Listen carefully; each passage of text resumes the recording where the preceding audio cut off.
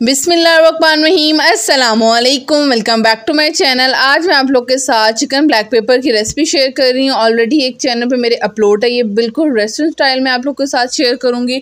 बहुत यम बनेगी। One KG की रेसिपी है। नोट कर लीजिएगा और ज़रूर ट्राई कीजिएगा। यहाँ पर मैंने कढ़ाई ले लिया उसके अंदर मैंने हाफ़ कप ऑयल ऐड कर दिया और इसे गर्म होने के लिए छोड़ देंगे।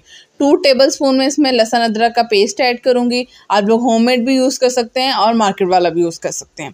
थोड़ा सा इसे गोल्डन ब्राउन होने के लिए छोड़ देंगे। ज़्यादा नहीं बिल्कुल ब्लैक ना कर लीजिएगा। जैसे थोड़ा सा कलर चेंज होने लगेगा, मैं इसके अंदर चिकन ऐड कर दूँगी। वन के जी वन के जी मैंने खुद मेज़रमेंट की थी। जो बाहर से वन के जी आप लाते हैं, वो कम होता है। क्योंकि इसके अंदर से मैं पोटा भी निकाल देती हूँ, गर्दन वगैरह सारा कुछ निकाल के भैया लेकर आते हैं।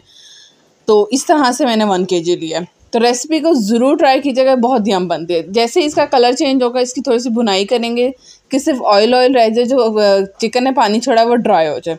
अब मैं इसमें ऐड कर दूँगी दो बड़े साइज़ के टमाटर और दस हरी मिर्चें बरीक बरीक कट करके मैंने इसमें ऐड किए हैं। स्पाइसिस आप लोग कम या ज़्यादा कर सकते हैं। बट मैंने स्पाइसी इसमें जो है ना स्पाइसेस बहुत तेज़ नहीं होते बिल्कुल लाइट से होते हैं। और ये जो इस, इसका जो फ्लेवर है ना बिल्कुल डिफरेंट होगा जो आप लोग को सिर्फ़ मार्केट से मिल सकता है जो मैं रेसिपी घर में बता रही हूँ आप लोग को। थोड़ी सी ग्रेवी बनाने के लिए मैंने यहाँ पे प्याज का पेस्ट लिया है।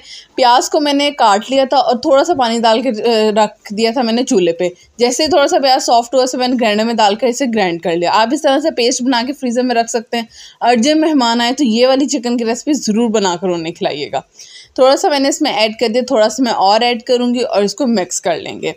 आप लोग मिक्स करके एक दफ़ा देख लीजिएगा कितनी ग्रेवी पसंद है। अगर आप लोग को ज़्यादा ग्रेवी नहीं पसंद तो आप ये प्याज का जो पेस्ट है ना, इसको भी कर सकते हैं। ज़्यादातर जो मतलब ग्रेवी ना हो ना तो फिर बोटियाँ लैदा लैदा वो अच्छी नहीं लगती। ग्रेवी हो तो सालन का ना जो वो होता है ना जायका, बड़ा ही मज़े का लगता है। तो ये देख सकते मैंने इसमें थोड़ा सा पानी ऐड किया और इसे थोड़ी देर के लिए मिक्स करेंगे अच्छे से। अब स्पाइसेस ऐड करने का टाइम आ जाए एक्स्ट्रा मसाले मैं बिल्कुल नहीं ऐड करूँगी सिंपल मसाले ऐड करूँगी। डेढ़ टी स्पून मैंने काली मिर्चें ली हैं हाफ़ टी स्पून मैंने ज़ीरा लिया टू टी स्पून मैंने यहाँ पे सूखा धनिया लिया टू टी स्पून ही नमक लिया नमक आप कम या ज़्यादा कर सकते हैं या अपने टेस्ट के अकॉर्डिंग ऐड कर सकते हैं। इसे अच्छे से मिक्स करेंगे। एकदम से इसका कलर जो है वो ब्लैक हो जाएगा। तो आपने टेंशन नहीं लेनी बिल्कुल भी। मिक्स करेंगे, जब मसाले अच्छे से घुलेंगे, मिलेंगे तो उसका कलर खुद ब खुद सही हो जाएगा। मार्केट का टेस्ट आएगा, होटल का टेस्ट आएगा, ज़रूर ट्राई कीजिए। एक दफ़ा जो मेहमान आपके घर आएगा ना, ये खिलाएँगे तो वो ज़रूर पूछेगा आपसे कि ये आपने बाहर से मंगाया था या घर में बनाया था।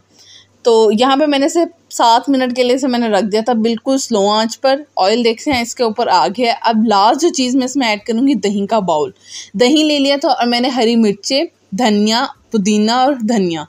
इन हरी मिर्चें सॉरी इनको मैंने सबका पेस्ट बना के दही में ऐड कर दिया। जैसे आप लोग रायता बनाते हैं ना, वो वाला पेस्ट हमने इसमें ऐड करना है।